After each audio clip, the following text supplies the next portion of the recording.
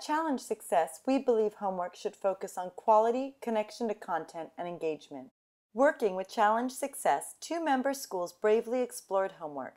Both schools recognize the need to work with a multi stakeholder team.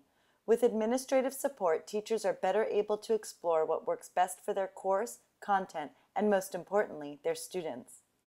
The administration and faculty at Jane Lathrop Stanford Middle School in Palo Alto took a close look at their homework practices and drafted homework guidelines to encourage meaningful homework.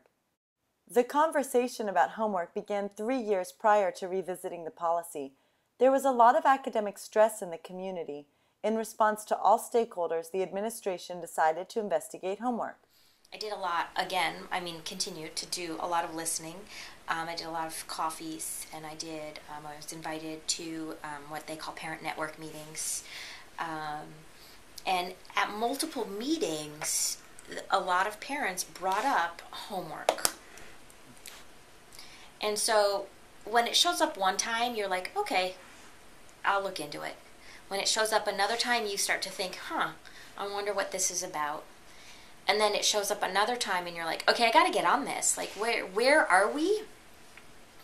Um, and what is what is it exactly? Like can i pinpoint what it is? When you say you have concerns around homework what are they? And so i started then having conversations um, a little bit more intentionally obviously. I mean it and what came out is a couple things. One that there's a lot of stress and tension in the community in general, and there's a little bit of a reverting back to we need more time for kids to be kids, which I was psyched mm-hmm. about because that's what I believe anyway.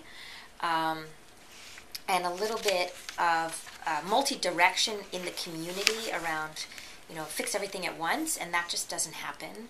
So I had to figure out where do we go with this, and what do we do with it, and how do we do it. So um, my first thought was, well, how do we develop skills of resiliency within our students so that when they, you know, middle school is a time when you can make mistakes, but if you don't learn how to come back from those mistakes, then I'm really not helping you anyway. So, how do we build and develop some resiliency skills? In order to build and develop some resiliency skills, I think you need to have an understanding of uh, what it's like to be a kid in in the community today. The school implemented the Student for a Day program the idea was to share with faculty the experience of being a student by offering them the opportunity to shadow a student's schedule. Teachers were matched with students to shadow for a day, which means one teacher followed one student to all of their classes, including going to lockers and writing down all the homework assignments. The substitutes were paid for by the school. 20 teachers volunteered and participated in the program. Teachers who participated were asked to fill in a confidential reflection form and then asked to take part in a panel during a faculty meeting. In looking through the debrief forms and through talking with participating teachers, teachers who were observed, and in sitting through the faculty meeting, the administration and faculty noticed a trend that paralleled the parental concerns with homework. In the debrief piece of it, they could think back to were they prepared to complete their homework? Did they have a lot of homework? What was their experience like? Were the directions clear? You know, all of these pieces that are related to homework. Instead of drafting a new policy, the school came up with guidelines that included reflection on the purpose of homework, daily time suggestions, and responsibilities for students, teachers, and parents. The Student for a Day project created a willingness for the faculty to participate in a dialogue about homework. The administration responded with a professional development workshop and parent education presentation with challenge success. In the faculty workshop, we asked teachers to assess the merits of real homework assignments each teacher was also asked to experiment or pilot a new way of doing homework. As a result, teachers felt supported and encouraged to try new things. Elizabeth Fee, a teacher at the school, has found that ungraded homework helps to promote engagement and practice without unnecessary stress. Um, a lot of just conversation about, wow, it's a really overwhelming day, and they have so many different things that they're trying to do and it was exhausting for the teachers to be the student for the day and trying to follow it. And then following all the social dynamics of what was happening with the kids in the classrooms and um, you know just getting that feedback from a teacher perspective is so useful. So we have total freedom.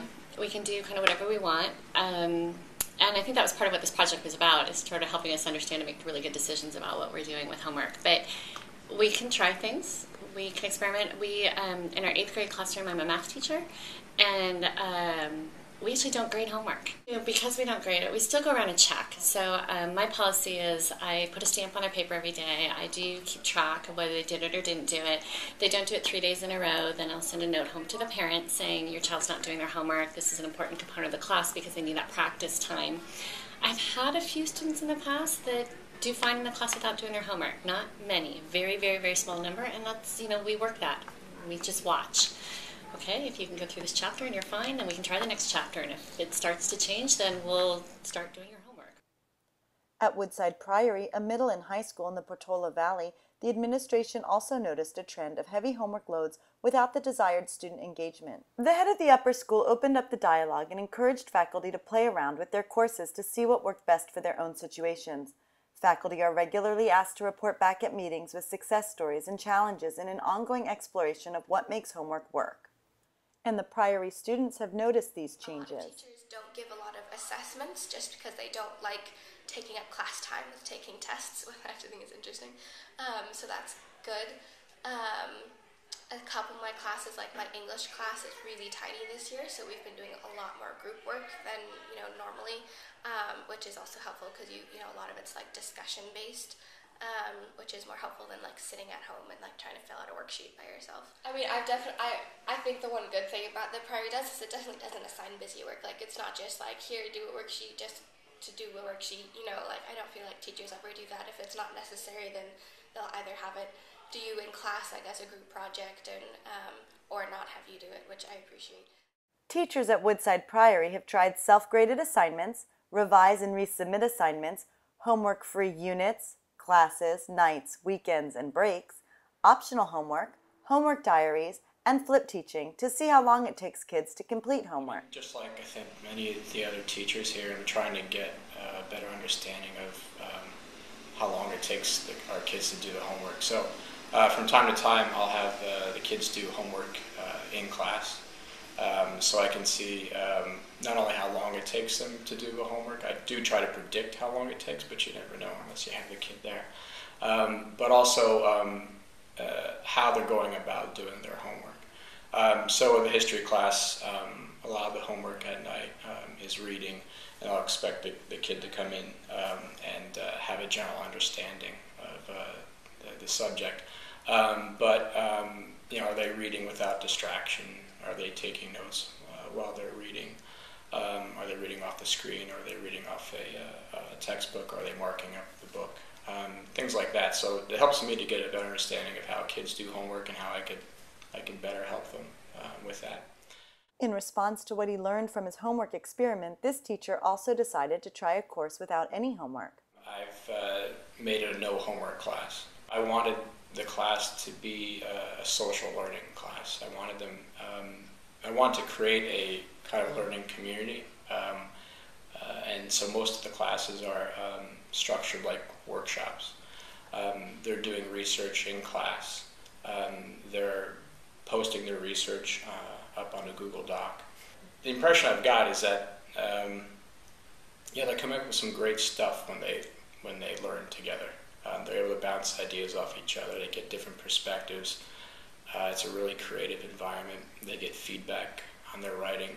Uh, their motivation is up. Um, and so I've been really happy with the quality of work, um, and I can see it all happening in the classroom. Um, I can be on hand to answer their questions if they have them. Uh, so I've been happy, happy with that. Here's what we recommend for teachers. Make sure homework is developmentally appropriate differentiated, and able to be done independently. Teachers should strive for the just right challenge for each student and should ensure that homework is doable without the need for outside help from a parent, peer, or tutor. We encourage teachers to reflect on the purpose of homework and to tie it back to the enduring understandings or the big ideas of a given unit, and to make this clear to the students. When students perceive homework as busy work, meaningless, and of little value to the teacher, they may be less engaged, Try offering student choice and student voice in homework assignments. Use homework specifically for tasks that cannot be performed in class. For instance, have students read a book outside of class, interview a community member, or collect backyard samples for a science experiment. Predict the amount of time homework may take. This isn't an easy task, but teachers might consider tracking actual homework task time minus time spent taking breaks or being distracted by having students do the assigned homework in class for a week, asking students and parents to keep homework diaries of actual time spent on work at home, or suggesting that students stop after a certain amount of time without penalty. Determine whether homework should count towards student grades, and if so, to what extent. Teachers should consider whether students will receive a certain amount of points for just completing the homework, or whether they receive points for completing it correctly. Some teachers offer students opportunities to redo their homework or have a lenient or late policy. Teachers might consider handing out homework packets that can be completed over time or homework-free passes for students to use when the workload or home obligations are particularly heavy. And here's what we recommend for parents. Parents should act as cheerleaders and supporters, not homework police. Ideally, the student should be able to do the homework alone without help from parents. Parents should provide necessary supplies and show an active interest in the content the student is learning while allowing the teachers to intervene if the student fails to do the homework correctly or regularly. When scheduling after-school activities, keep in mind your child's homework load. Work with your child to determine a healthy schedule of activities that will allow time to complete homework, work on projects, and study for tests, while still getting adequate sleep and time for play.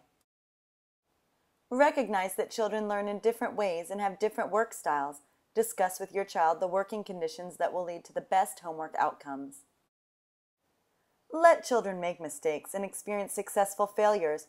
Recognize that a missed or poorly done homework assignment every now and then is not going to hurt your child in the long run. When parents regularly deliver forgotten assignments to school or step in to rescue a child at the last minute, they may be denying the child the opportunity to develop resilience and fortitude.